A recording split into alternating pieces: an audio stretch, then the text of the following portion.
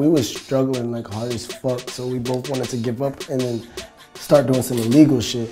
Before Ski Mask the Slump God dropped tracks like Take a Step Back, Life is Short, Baby Wipe, and Catch Me Outside. Getting co-signs from the likes of Missy Elliott and Desiigner, and collaborating with artists like Lil Pump, Lil Peep, Lil Tracy, Lil Uzi Vert, and of course, Triple X. Ski Mask would feud with Rob Stone leading to angry tweets, stabbings, and Ski Mask getting jumped on stage. As the Slump God was raised in South Florida and was encouraged to work on his pen from a young age by his father, who was a rapper himself. Music was always a big part of his life, but his come up was rough, and he wouldn't take his first serious steps into the rap game until he met his musical soulmate in juvenile detention. From there, he'd start his first musical collective, Very Rare, and even get the name inked on his face. From there, he'd move on to form members only, but considering the tat, I gotta hope Very Rare is still somehow active.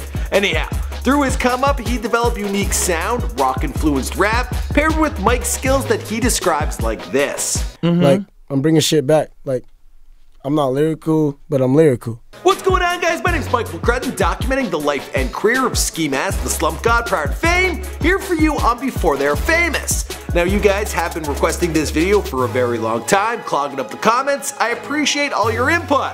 We've also done a video on Triple X, and we've done a top 5 on Ski Mask. I plan on interviewing the guy in the future. We did exchange numbers, but now I'm waiting to hear back from him. And it's been a while. Let me know who you want me to document next. Now let's jump into this bio.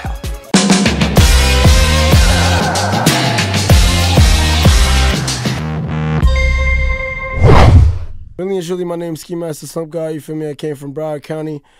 Um, really and truly, ain't nothing else to say about myself unless give me a chance, my nigga. I'm spitting. Ski Mask the Slump God was born Stokeley Clevon Goulbourne on April 18th, 1996. He is of Jamaican ancestry and grew up with four siblings in Fort Lauderdale, Florida, bouncing between his mother and father's house. Shit, shit was rough, bro. On us, parents, parents is some fuck niggas. That's what I gotta say. My mom don't like me. Yeah. We flexing on them though. Life wasn't always easy with both parents struggling with their own issues it wasn't totally hard because your parents is there, but your parents is not totally there for like either one of us. Music was always a big part of his childhood when he was living with his mother and visiting grandma. They'd always be bumping Jamaican music. It's always Jamaican music, so all the old Jamaican tunes, you put it on, I'm gonna sing along. I have no choice because it's always it's like stuck in my head. On top of that, Ski Mask's dad was a rapper and wanted his son to follow in his footsteps, so he pushed him to write rhymes from an early age. It was crazy. I really didn't want to either. But I'm happy he did now. You feel me? sure enough, Ski Mask realized early on that rap could offer him a future, and recently he told Double XL it was either make this work or die trying. But despite his father's early encouragement, Ski Mask would not be spitting fire for some time. While music was in his blood, he claims he was no prodigy when he first got started. Before I started doing music, I was ass as fuck. well, his career would really take off after meeting his most frequent collaborator, XXXTentacion. Ski Mask first developed his talents prior to that meeting. He stated that he continued to write raps but never spit that. And according to Double XL, he would also be freestyling with neighborhood friends. Diamonds on loop, they loop, so big it look like a hula hoop. They tryna lock me in pigeon coop, even if so I would chop the roof. Ski Mask would also develop his unique sound as a result of his diverse musical influences. He grew up listening to Busta Rhymes, Missy Elliott, Nelly, the Wu-Tang Clan, Ludacris, and Lil Wayne. He also listened to Fabolous, Method Man, Redman, Cam'ron, Jim Jones, and Hurricane Chris. He often cited J. Cole and Kendrick Lamar as artists who he likes a lot, even though they are very different than himself. He also named Timbaland as his favorite producer.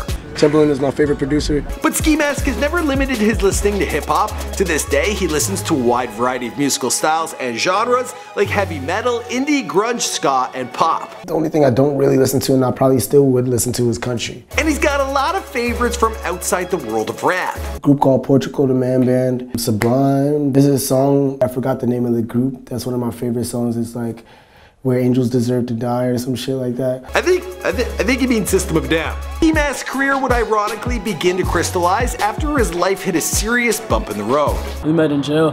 We met in jail. In 2014, he was sent to Broward Juvenile Detention Center for possession of marijuana after getting caught with just $10 worth of weed. It's pretty messed up to get arrested for such a small amount of weed, but on top of that, Ski Mask said he was arrested while he was high on shrooms, and even fell asleep while they were booking him. But once in prison, he would eventually meet, Jahseh, Dwayne Onfroy, better known by his stage name, XXX Tentacion, who was in on gun and robbery charges. On Ski Mask's birthday, X gave him an extra cookie. For my birthday, for real, because it's not like they're gonna give you a birthday cake, so yeah. But nah, he was my friend in there. That's that's really that's really nice. That's sweet. The two became fast friends and passed their time together rapping. We was in there for like 30 days together. So we were just in like the day room. Say this is like the day room and there's like a whole bunch of chairs. We're just beating on the chairs, just rapping and shit. According to Ski Mask, both artists learned from each other. X taught Ski Mask to be more aggressive and confident in his rapping, and Ski taught X to have a smoother, more natural flow. The two made plans to get together after they both got out, but at first, it wasn't to start putting music together. We made plans to connect with each other to first hit licks like rob houses, brother. Thankfully, when they finally got together on the outside, they kept each other focused on music rather than crime. Ski like is the one that calms me down, kind of like even like the other day, like a nigga pulled his strap out and I was gonna beat his ass, and then Ski like Ski was keeping me calm. Ski was grabbing me, like telling me calm down and shit. Ski Mask formed the Very Rare Collective with X, and he began to bubble with his first official song, Catch Me, dropped on SoundCloud in 2015. The same year, he formed a new collective with X, this time called Members Only, and they released their first two mixtapes, Member Only Volume 1 and 2. A third volume of Members Only would drop two years later in 2017. In the meantime, he released his solo mixtape, Drown in Designer, in 2016, which featured songs like his Lil Pump collab, Where's the Blow, and his massively popular Take a Step Back. With his music bubbling and his SoundCloud catching fire, other artists were taking notice. He received numerous co-signs, and Desiigner even invited Ski Mask onto his outlet tour in 2017, while a promising opportunity, the tour would also lead to his ongoing beef with Rob Stone. To Rob Stone, the problem started on day one of the tour, when Ski Mask started shaking hands with fans in the middle of Rob's song. Then during Stone's hometown stop in San Diego, Ski Mask arrived very late and refused to get off the stage when it was time for Rob to perform. This led to some Twitter beef between Rob Stone and Ski Mask, as well as X. So then, when Ski Mask was performing on April 10th at the Fonda in LA, Rob Stone's goons jumped Ski Mask and beat him from stage to the street. Pretty rough, but according to Ski, a member of his crew was stabbed in the mouth. Soon after, both Rob Stone and Ski Mask would be off the outlet tour, and needless to say, future tours would be careful to avoid putting both Ski Mask and Rob Stone on the same lineup. While this would allow the heat between Ski and Rob to cool off a bit, Ski Mask would also continue to have a bit of trouble with the law. On August 2nd, 2016, he was arrested in Fort Lauderdale for driving with a suspended license and in connection to a robbery, but was later released on bail, which cost him a whopping $10,600. But despite the setback at some point along the way, Ski Mask would also meet his manager, Solomon Sounds, who I have to assume put him in touch with some major labels. Ski Mask put out his debut commercial project, his mixtape, You Will Regret, in 2017 with Universal Music Group. Ski Mask would go on to ink a deal with Republic Records in May of 2017, and his debut studio album with the label is expected to drop with that label in 2018. As for the rest of the story, well, I guess we'll have to wait and see because this is before they're famous. My name is Mike McCrudden. Thanks for requesting this video. I hope you enjoyed it. Be sure to hit me up in the comments down below on who you want me to document next. Two other videos are right here that you guys may enjoy. See you guys in another video. Boom! If you're a Christian, it means like your guardian angel is watching you, but if you're not really into Christian, like Christianity, it's like um, it means that you're you're your own God.